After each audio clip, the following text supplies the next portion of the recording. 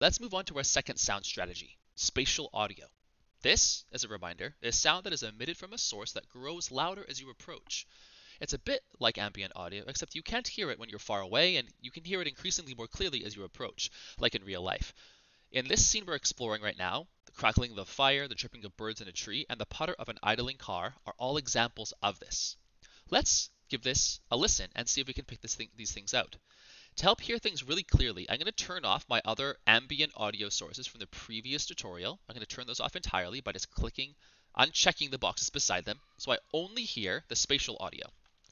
And as I wander around the scene, as we explored previously, the fire gets louder, and some of these trees,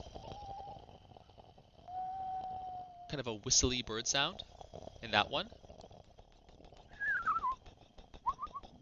Okay, a different type of bird, Mistral sound effect. And then the sound of the puttering car.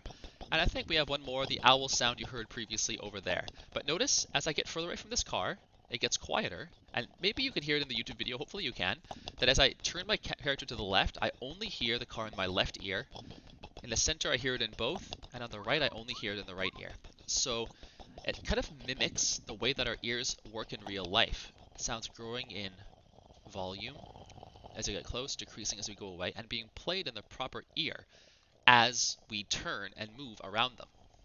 It's basically creating real world sound. So, how do we do so? Well, let's take a look at some of the elements of our scene here to see if we can't figure out how this works. I'm going to click on this fire, and you'll see as I click on it, it's going to open up in the hierarchy and direct me right to where this campfire exists. And you can see that I already have an audio source attached to this. We're going to kind of learn how this works from the opposite direction as before. We don't build it from scratch. I'm going to analyze something that already exists and then kind of infer from it how it might work. So let's take a peek at some of the settings in here and see if we can't learn about how this is all working.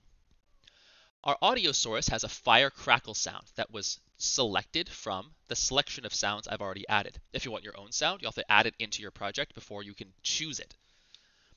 I also have, in this place, in this situation, play on awake and loop selected. That's because the sound should always be playing, even if I can't hear it at that given time. Technically, we could trigger it on and off as we get closer, but that's kind of more work that we need to do. The thing that determines us hearing it or not is not whether or not it's playing, it's our uh, proximity to it. I'm going to leave all of these other settings in their initial state, including volume at max, because the volume is going to change in a different place, which is the 3D sound settings submenu. Here is where the really interesting stuff happens. I need to make sure that my spatial blend is set to 3D. I think in the previous section, this was automatically set to 2D. Whenever you build an audio source, this will be set to 2D. I need to crank this to 3D. Technically, you can kind of have a mix and match of these settings if you want to create kind of an intermediate blend. But for now, let's just either be 2D for ambient or 3D for spatial. This is the main difference maker. So our spatial blend is now set to 3D, which means that those things like hearing it in the left or the right ear will be active and the distance that we're away from it will also be in effect. Under our 3D sound settings, we see this little graph. That shows the way that the sound is being heard. At the top, this is full volume, and at the bottom, this is silent. And on the left-hand side, this is super close. On the right-hand side, this is further and further away. How far away? Depends on the max distance. Right now, this is 150 units in our game. How far away is that? Well, if I actually look at my scene with this object selected, I should be able to see a bit of a sphere. Can you see that kind of outline of a, of a blue circle?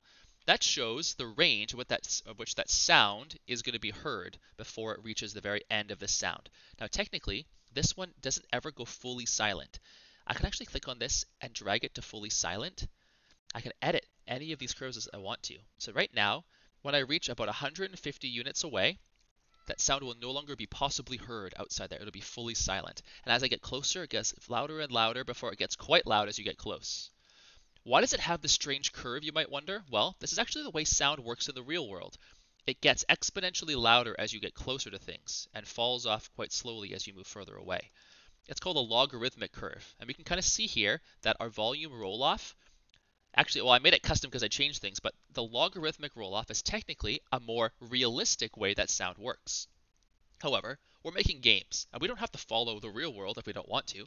We can actually change it to a linear roll-off, which makes it so that sound decreases equally over time as you walk away from it. When you're close, it's the loudest. When you're the, when you're far away, it's the quietest. And ever in between, it, it kind of decreases regularly. Maybe you want your sound to work like that for some reason. It won't sound perfectly realistic, but maybe that's the effect that you want. You can feel free to have a logarithmic, linear, or custom one. Something I like to do sometimes in my custom roll-offs is just make sure that it gets to silent exactly where I want it.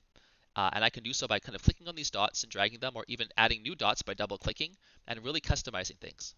Technically, if you want to be really strange, you can make it so that as you get further away, it goes down, and then as you get really far away, it gets louder for a bit before going down. That would be a very unrealistic sound, but maybe for some reason that's the way you want it to work in your game to create a weird, eerie tone in like a, a thriller or a horror experience of some kind. I'll leave that up to you to explore.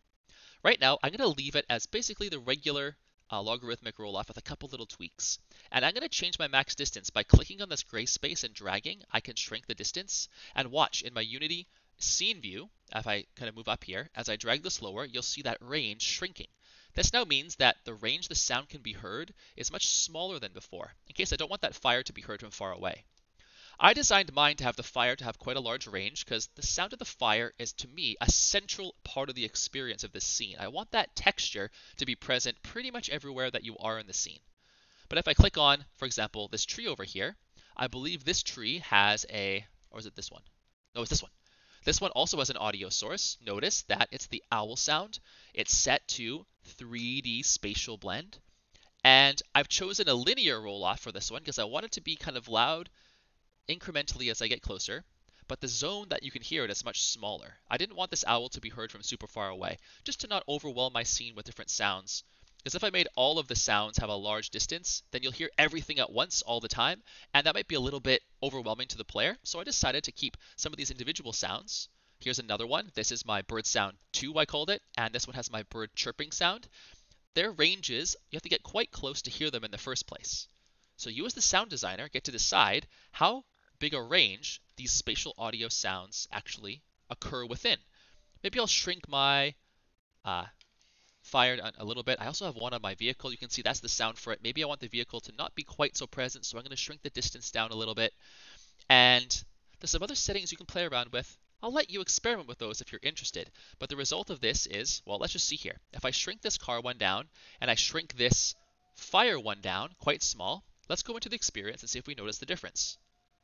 Now I hear nothing upon entering. Before I heard the fire, but now the fire starts maybe around here. There it is, just ever so quiet. And you can see in my chart here, if I have the object selected, my campfire, that as I get closer, it shows me where I'm at in the sound. See how much louder it gets as I get closer? Let's actually get to the, to the peak value, interestingly enough. Maybe I can actually get exactly to where it is. I think it's underground a little bit, interestingly enough. What if I go to my, uh, where is my, go to my scene view. Let's choose my owl and see this, just so we can really understand this well. That owl one is selected. You can see right now, there's no information being played because I'm not close enough. But if I head towards the owl, as I get closer, you'll see it light up with that line as I approach it. There it is. And now I can just barely hear the owl. And as I get closer, the owl gets louder.